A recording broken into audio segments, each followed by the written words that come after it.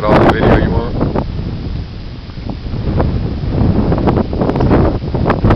You're a bit close.